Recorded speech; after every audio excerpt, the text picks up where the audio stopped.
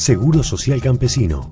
El Seguro Social Campesino ahora cuenta con 380.000 afiliados que junto a sus familias suman 1.200.000 beneficiados.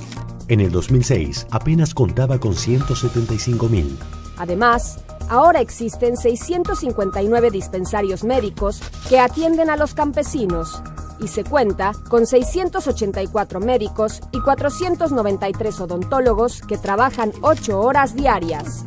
En el 2006, solo existían 334 médicos y 106 odontólogos que trabajaban solamente 4 horas.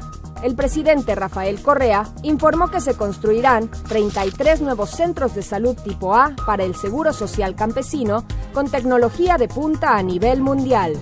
El Seguro Social Campesino protege a la población del sector rural y pescador artesanal del Ecuador mediante la ejecución de programas de salud integral.